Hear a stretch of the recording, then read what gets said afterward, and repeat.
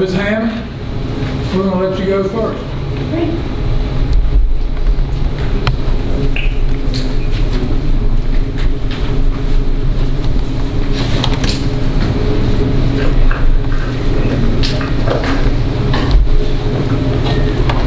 Okay, um,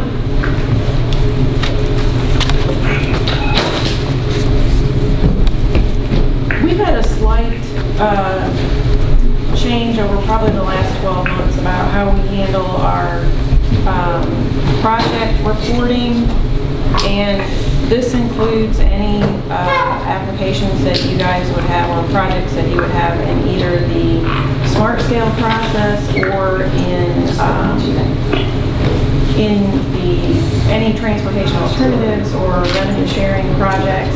And back when we first started doing locally administered projects, which has been a substantial time ago, uh, we did not have any connection to those projects in our dashboard system. The dashboard is how we track our construction projects.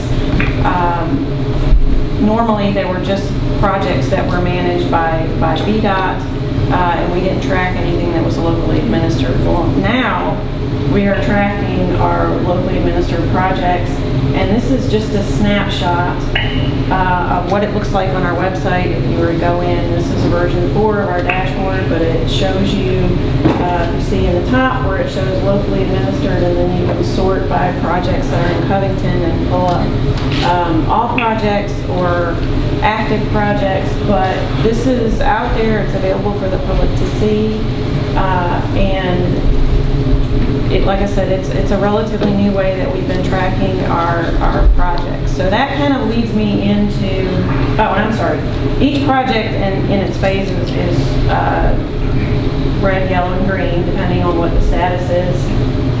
And um, throughout that phase, there are opportunities, if something turns yellow, it's kind of a good uh, attention getter that there's there's something that's not meeting a, a deadline or getting close to not meeting a deadline that's that's built into the, the system and it helps us uh, track those projects a little bit better. The other thing too is that this is a statewide um, this, this is being done state, statewide. This is just a snapshot of Covington's projects in particular, but if you wanted to back out and have it, you know, look at it from the statewide perspective, you could do that. And you see that we have on time and on budget are the primary things that, that we track. Uh, and then there are some, if, if you go inside each project, you can get a little bit more detail. But the purpose of doing this is to make sure that we are moving forward with projects that we're making, that we're making progress, that uh, we're trying to keep them on schedule. The way that projects are funded now, um, there's a, a shorter duration that is there to complete it, and we want to make sure that that there are some situations where if it doesn't move forward, there's a the funds might be lost, and we don't want the locality to be situation at all. We want to help you move forward.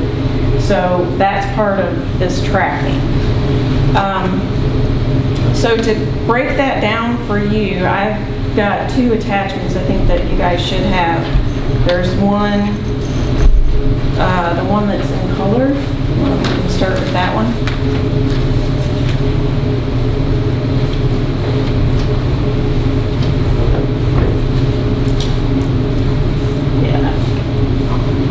So this list is, these are actually active projects that have received funding. And the list is relatively short, so I'll, I'll just walk through it with you. First project is uh, Durant Road. Um, the construction has been completed, but it's not fully considered finalized because we, um, we're still waiting for the final inspection from DEQ. So that project is still going to show up. If you were to pull it up in dashboard, you'll see that as an active project. Um, the next project listed is Route 60 East Madison Street. That was a state of good repair project. It's it's been completed and is being closed out right now to archive it. And the same thing for the next one, which is Route 154 on Riverside Street. Um, that's being closed out and archived. The next project is South Alleghany. Um, This is a state of good repair uh, project for this year. It's a mile between Monroe Street and Hemlock, and I'm assuming that you guys are going to have that completed prior to the end of this year? Okay.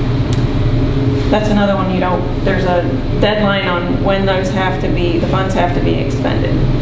And then the Maple Avenue Streetscape Project, which is Phase Two, um, that's a transportation alternatives project.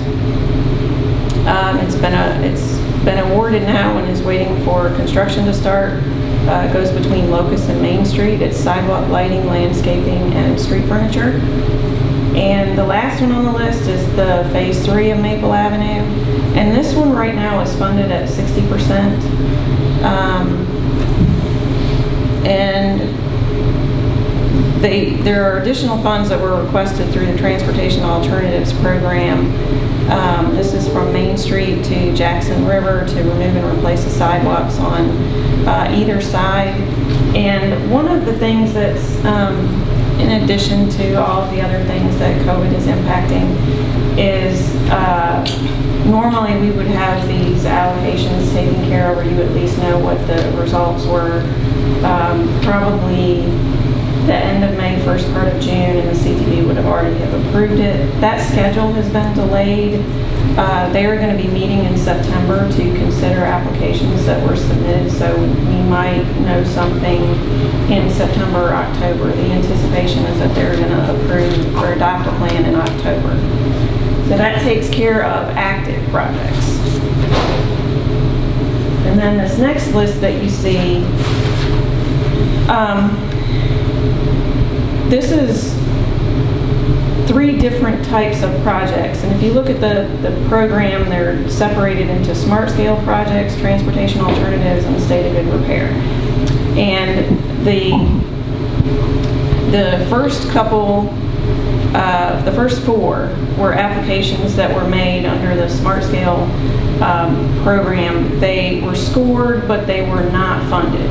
And the smart scale application process is a competitive process where you're going against other localities uh, for funds and how far that list of projects gets funded depends on how much money is actually in the program and that determines what the cutoff was. So if you look down um, to the next two, You've got East Madison and the paper trail, and both of those had been submitted once before, but they were going to be included in this application cycle. And it's pending right now. Our application process for these is on uh, 5 o'clock on August the 17th. Um, so uh, those will be reviewed after they're submitted, so it'll be a little bit of time before you know what's going on with those. And then the next two, um, well, let me start with Thacker first. That one was scored but not funded. Uh, I think there's some challenges with that one as far as the dollar value for the sidewalk, but there's an extension of the drainage system that's there that I think is, is impacting how that project is scored. And then the last project is the um, bridge replacement over uh, right at Rayon Drive over the Jackson River. So this one has a history to it, and just to make sure that we're all clear, I'll share that history with you. When that first application went in for that project, it was um, anticipated that that project was going to be fully funded. Um, and that was, it was in the draft for the six-year plan for, 2018. Um, but there was an emergency project in Hampton Roads, and there was a lot of, there were a lot of um, state of good repair applications that the funding was pulled for. And our district bridge funds were also pulled to help provide assistance to that emergency project in Hampton Roads. So so this project has already been selected for the state of good repair dollars, but again, because of the delay in determining what's happening with projected funding, there isn't a schedule attached to this yet. So as soon as um, we'll probably know something more in the next month, uh, about what's going on with this, and I hope that this project is listed with the the Commonwealth Transportation Board when they meet in September. But it's, it- it's scored appropriately, but now it's just determining our funding uh, and and how the- that would get allocated. Do you all have any questions for me? I know I went over a lot of information in a short period of time. I think, um, just with Brown Bridge with mentioning, I think my understanding was sort of, it's almost like it's shortlisted right now. Yes. Since it was previously approved and it's, if dollars become available, it, it- it's in the priority queue, Yes. right? Yes. So it's, it's more of just a, So it's waiting for those dollars, one, to see what's going to be available, and then two, to determine what kind of schedule we would set up for going through um, preliminary engineering and right-of-way and construction. So, um, but until, you know, until the funds become available to actually plan out the project, we don't really know what, what that looks like right now.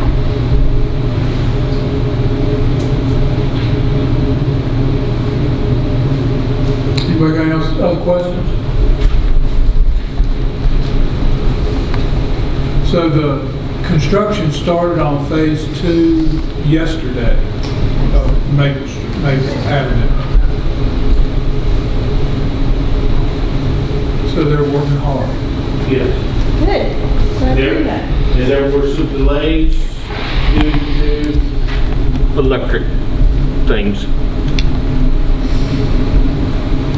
Any estimate on how long that'll go from beginning to end? Fall, certainly, late fall, oh, Okay. late fall. And contracts have all, are been, been signed for South Alleghany Avenue, so it's just a matter of the contractor getting on top of that. And So Thacker, we, we've kind of been waiting to hear on that. Scored but unfunded is what it says up there. So the application was made, it was reviewed, um, but it was not funded.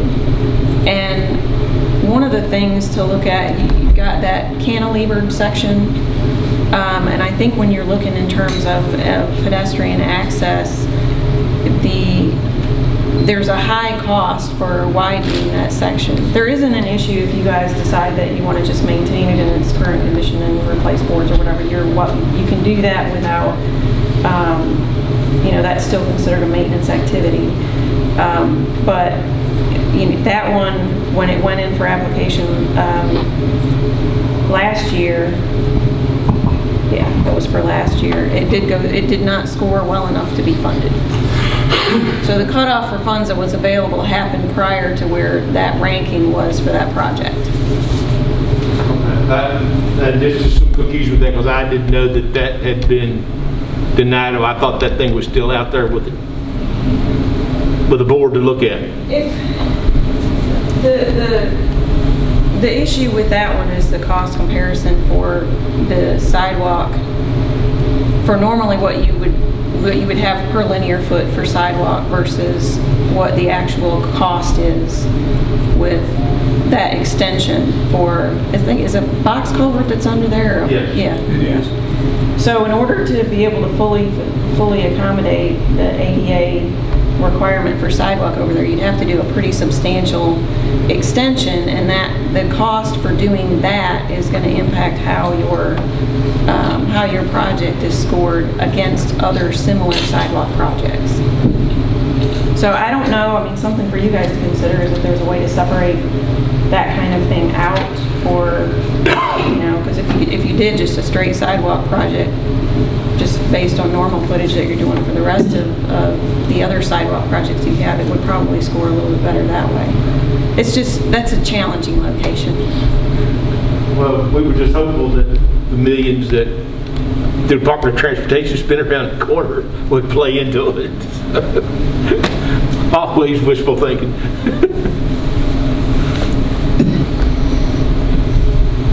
Well, there's no other questions, council, thank you, Susan. Uh, Got you out here in 15 minutes, the best we can do.